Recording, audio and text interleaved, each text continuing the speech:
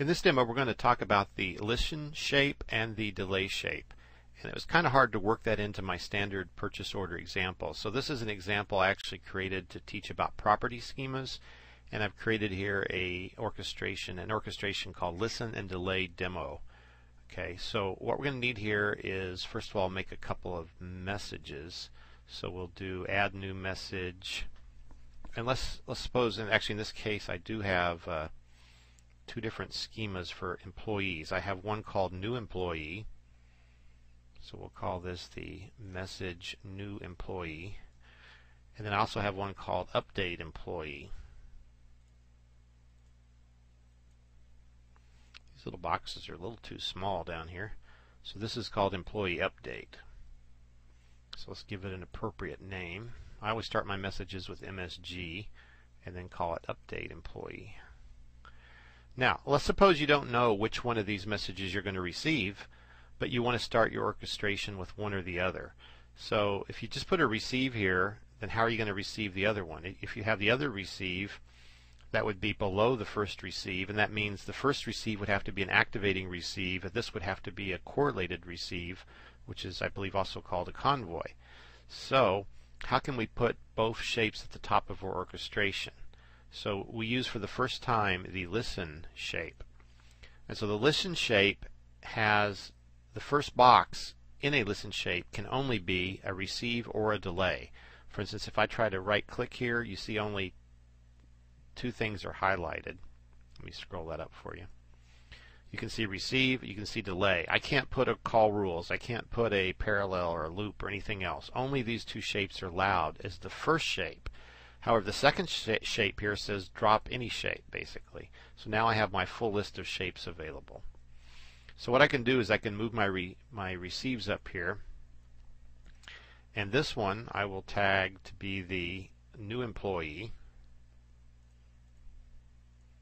And this one I will tag to be the update employee. So let's give them nicer descriptions. So now they could actually both be activating receives. So we can set both to true. And what that means is if I receive either this message or this message, then this orchestration will start. And then you could continue to have whatever logic you want in the orchestration. Okay, the next thing you can do is you can actually have more than one branch here, just like with a uh, parallel shape or a scope you can right click here and say new listen branch and you can click it again and add another branch. So you can see you could actually have one two three four actually 5 10 20 of these if you wanted to. And you could have as many listens as you want. So you could have receive new employee receive update employee receive delete employee. And then this wouldn't apply on activating receive but if this if this were not at the beginning of your orchestration you could put a delay shape here and so what the delay shape would do is you come here and at the top of this box it's it's a BizTalk expression editor but it only allows one statement and that's called the time span. So you actually run the constructor here for a new system time span. And BizTalk of course has this little option here where you can actually see all the different constructors for a class. And I don't like to use ticks, I like to use hours, minutes, seconds. So I want 0 hours, 10 minutes, and 0 seconds and then you do not put the semicolon in this one. That seems to be inconsistent. Some message boxes you put the semicolon and some you don't. Okay, so this basically means wait 10 minutes. Okay, so what would happen, again, if this were not the first, uh, let's say we have another receive up here, and let's say these were not activating receives. By the way, I could delete this branch here to delete it, it's kind of tricky. You have to you have to click where you get both of these at the same time. So if you click here, that doesn't do it. But if you click the line or above, you see how the whole thing kind of shades. Sorry, I lost it. Then you right click and do delete, and that branch will go away. So now let's say we receive some message, and then later we're going to correlate. We're going to receive either this message or this message. But then you can say is like, what happens if nothing happens for 10 minutes? So you say here, delay 10 minutes. So in other words, we're supposed to receive after this message, within 10 minutes, either this message or this message. And so what happens here is only one of these three branches will happen. We'll either receive a new branch, a new employee, and this branch will execute, or we will receive an update employee, and this this branch would execute, or 10 minutes will elapse, and then this branch would execute. And so here we could insert something like a throw exception or a terminate or something like that. And we could say here, message has not been received after 10 minutes.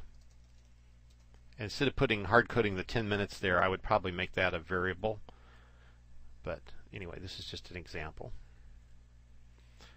And then, of course, if we received a message, we could then maybe have a map or something. We might have a construct here. We might have a construct here.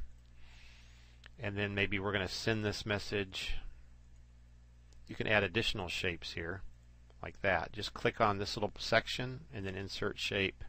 And so maybe we map this message and then we send it to our SAP system or something to add the employee. Whereas on this branch, we just terminate and that'll issue a message back into HAT where we can see this message right here. So that is one example of how to use listens and delays.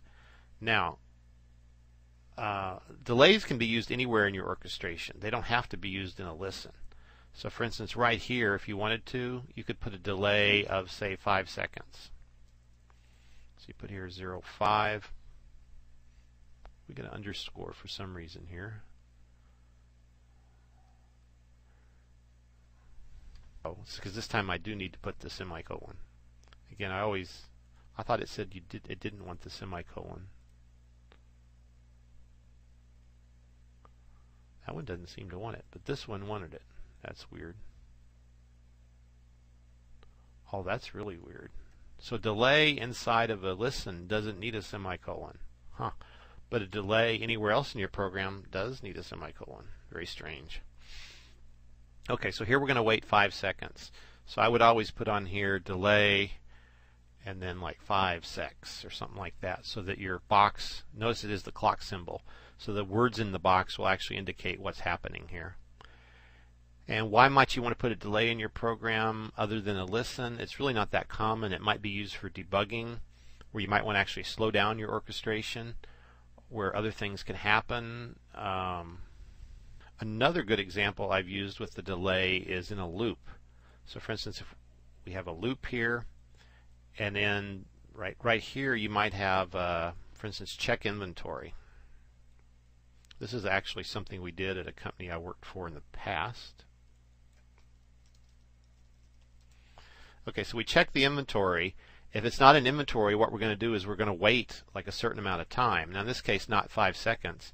At the place I was working, we only checked maybe twice a day. So every 12 hours, so this is hours, minutes, seconds. So it's actually 12, 0, 0. So we'll call this delay 12 hours. So in this loop, you're going to basically keep checking the inventory every 12 hours. We're assuming that shipments come in maybe at 9 in the morning and 3 in the afternoon. And BizTalk is not going to know how to check at exactly a certain time of day. He's just going to wait 12 hours, and then when the orchestration wakes up from hydration, it will run the next statement. So we have a loop, we check the inventory. If it's not inventory, we loop again. And then we check the inventory. If it's not inventory, we loop again. And then you could also have a counter in here that says something like, uh, we'll use a decide shape. And meanwhile, we'd increment a counter here. So we need a little expression and say, something like counter equals counter plus 1.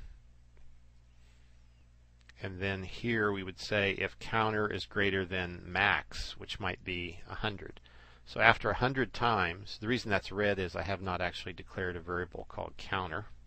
Let me do that off the video. Okay, so here's a new variable now called counter. So here, if counter is greater than 100, then we want to do some other action, maybe send a message to the inventory manager to tell him, you know, what's wrong with your inventory. Otherwise, we just keep looping. So in this video, to recap, we've learned about the delay shape.